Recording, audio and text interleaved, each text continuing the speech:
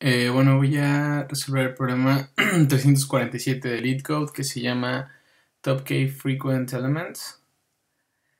Este problema es más complicado de lo que parece. A primera vista se ve muy sencillo. En, realidad sí lo es, hay que entender algunos conceptos.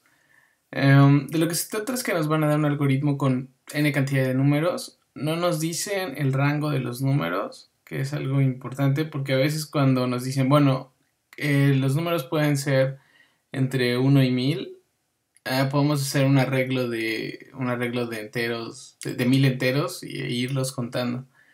Pero en este caso no nos dicen, entonces puede venir cualquier número que quepa en un integer. Y nos van a dar una, un k igual a cierto valor.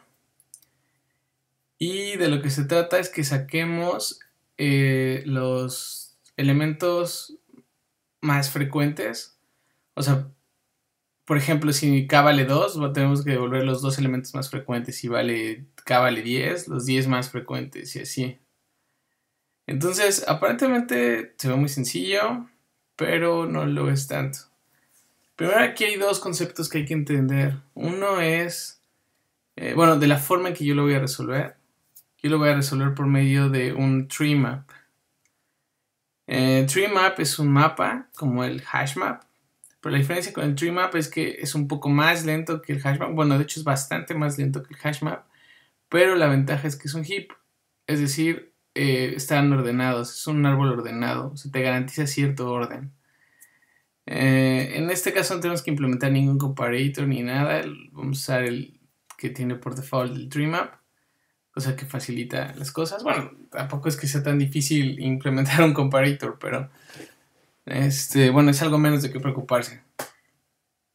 Lo que voy a hacer es primero voy a poner todos los, todos los números, los voy a ir contando y el resultado lo voy a poner en un mapa. Y después voy a ir poniendo esos, ese, lo que tengamos en el hash map, lo voy a poner en el tree map y después voy a eh, devolver este, los K últimos elementos de ese tree map. ¿Ok?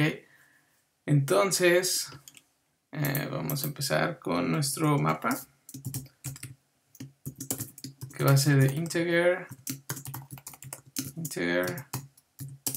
el hash map. Es igual a hash map.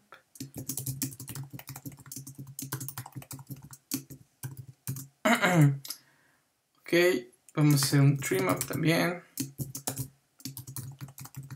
Que va a tener...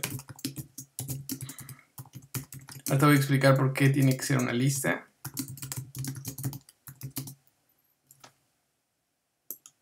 Vamos a copiarlo tal cual, me va a aflojar escribir.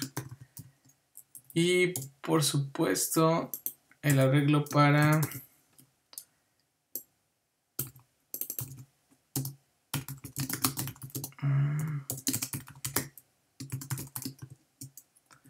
para poner el resultado de lo que sea que estemos haciendo. ¿Ok?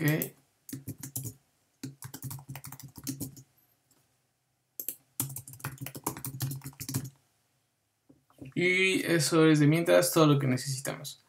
Ahora bien, vamos a empezar a llenar nuestro eh, mapa.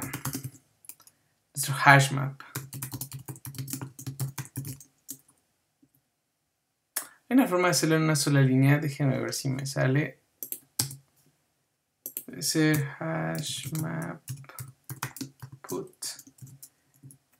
Y vamos a poner y después um, getter default num 0 más 1 bueno con ese llenamos todo nuestro hash map con las veces que aparece cada valor. Por ejemplo, eh, vamos a simularlo con el ejemplo. Aparece un 1 este, y como pues nuestro hash map está vacío, vamos a meter 1 con frecuencia 1. O sea, el valor, la llave es el 1 y el valor es la frecuencia. Y después así, así, después el 2 y después el 3. Ok, entonces ya tenemos nuestro mapa. Ahora vamos a iterar este mapa.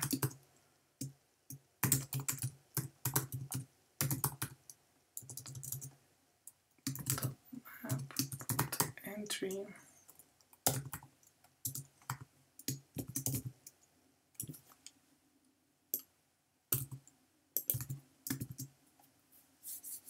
Ok.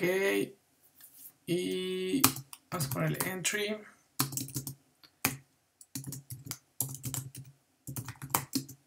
Entry set.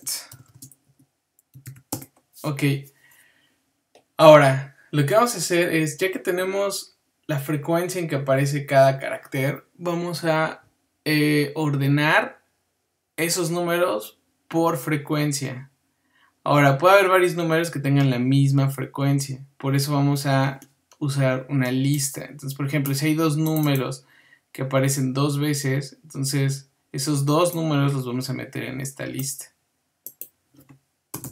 Entonces, if map contains key entry.getValue si ya contiene ese valor, vamos a hacer algo. Y si no lo contiene, vamos a hacer otra cosa. Vamos a hacer nuestra lista. Que se llama, no sé, tmp. Y si ya lo contiene, entonces tmp va a ser igual a tmap.get así nomás.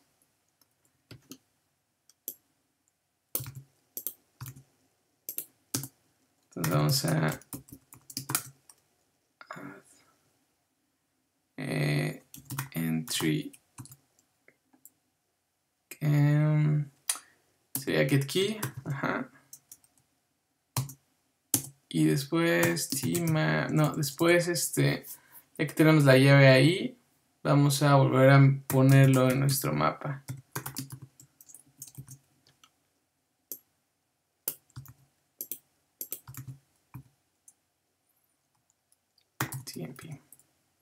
Ahora, si no lo tiene, entonces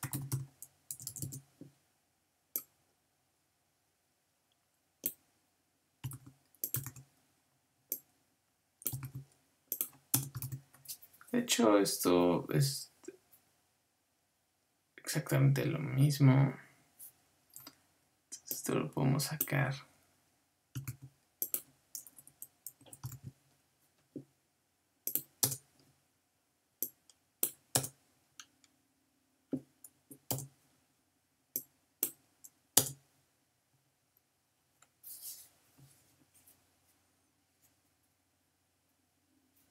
Perfecto. Entonces ya con eso llenamos nuestro árbol. Bueno, nuestro tree map. Si estamos bien. Ok, según yo sí. Y ahora...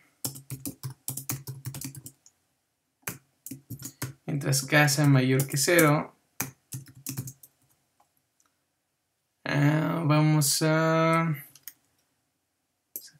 la lista. Vamos a poner, no tmp es igual a last me parece. last entry. Em, for int. No sé, le ponemos num. Um, tmp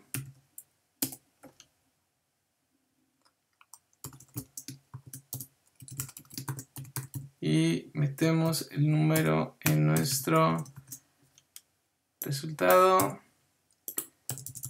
y reducimos k para hacerlo, o sea, estamos sacando los eh, k más, eh, más frecuentes. Vamos a ver si funciona. No funciona para variar. ¿Por qué no funciona?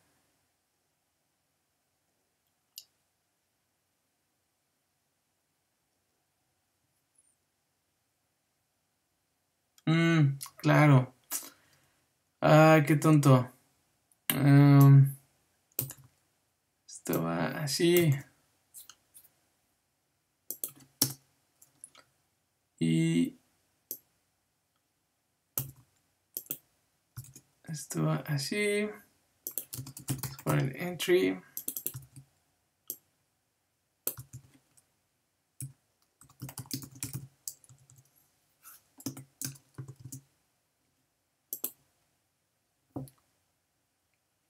¿Y qué ahora, ahora por qué?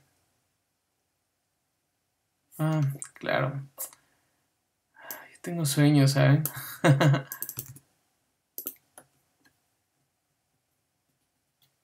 y funciona para este valor. Ya, vamos a subirlo. Y funciona, es una solución buena. No es muy efectiva en cuanto a espacio, porque pues, estamos usando un montón. Pero digamos que es no sé, no sé si podemos decir que es rápida, o sea, es más rápida que la mayoría de las soluciones que han metido, pero habría que ver qué tan rápida es la mejor opción. Por ejemplo, nosotros lo estamos haciendo en 10 milisegundos. Si vemos en los detalles cuál es la opción más rápida, vamos a encontrar que unos cuantos encontraron esta opción que lo hace en la mitad de tiempo y usa esto es un hashmap Ok, extendió la clase. Bueno, hace otras cosas. Entonces, yo les recomiendo estudiar esa también.